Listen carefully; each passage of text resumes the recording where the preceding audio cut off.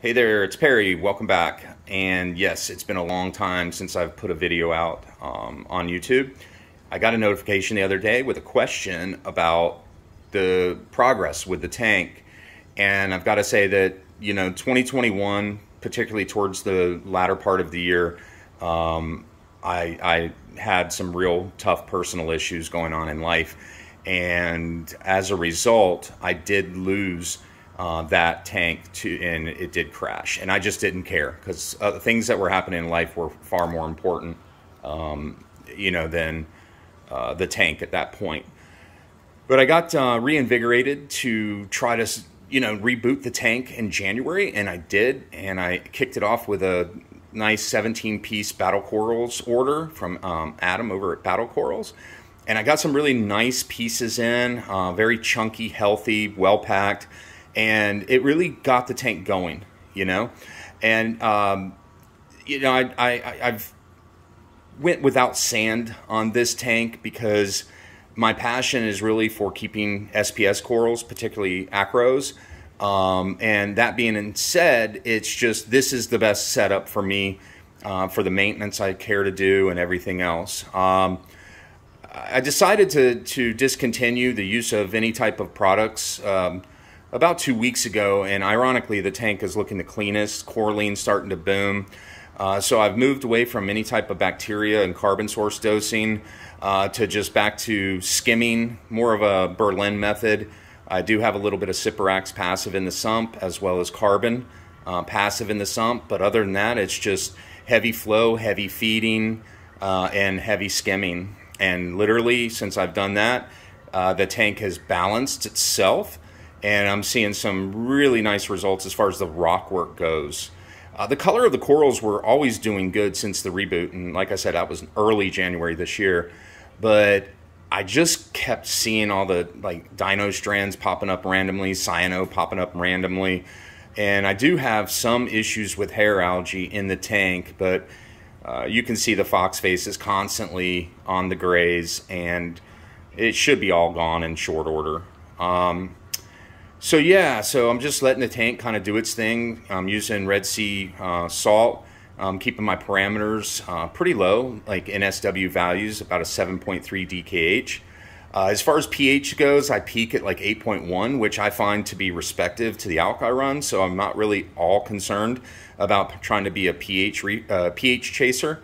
Uh, in fact, I'm just trying to get back to the good old basics of reef keeping and just letting the tank and letting the fish and the corals do their thing. And since I've started doing that, as I said before, uh, things are really starting to move along. Uh, as far as lighting goes, I was using the Kessil and honestly, the shimmer and the brightness of it just was absolutely disturbing to my eyes. So I ended up going back to T5s, and uh, of course, it's getting summertime in Florida and heat was definitely becoming an issue. So I decided to buy this Reef Breeders um, V32 Photon, and it's in the front part of the tank. So it kind of comes to the this tier, as you can see right here. This zone is really well lit by that.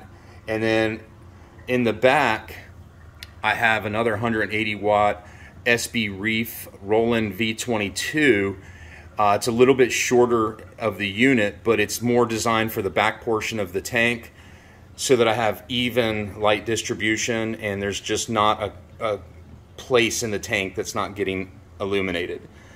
And as you can see, it covers that part of the reef. So that being said, I have it locked in around 80% blue and 25% white, whereas the uh, reef breeders, because it's having to go down further in the tank, um, having it around 90% on all the blue channels and 28% on the white, and I think 20 green and 10 red.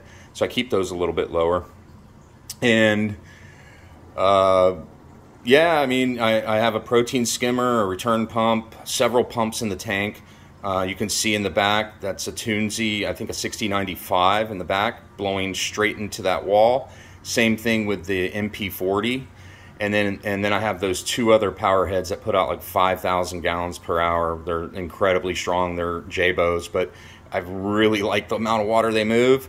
So nothing really settles in the tank it all goes over the overflow and into the sump and that's a mesh filter sock for collecting. Uh, it does let small debris through, but whatever. I only change it once a week and um, rinse it out or whatever and then swap it back in. Uh, literally do nothing else.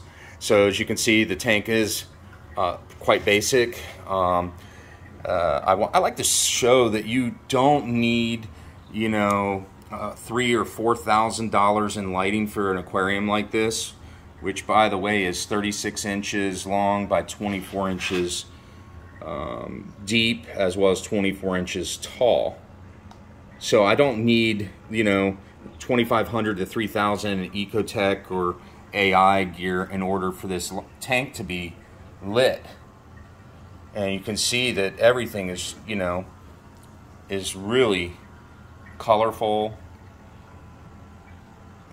Yeah, I just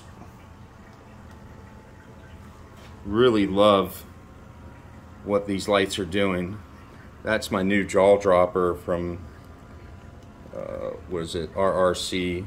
I got it from Tim Herman, who's been around forever but has just the killer corals. But you can see like that PC rainbow. You know, that's out towards the outer limits of the par range, which incidentally, I don't know the par, I don't really care. It's all about slowly acclimating these corals to the light, which I've done over time to get those percentages I was just talking about. And I'm still, you know, ramping. And it's, you know, it's going to take time, but I don't really think I need a par meter in order to be successful. You know, just try to use good observation and, you know, just try to use some of them skills over the years that we develop through keeping these amazing corals. All right, y'all.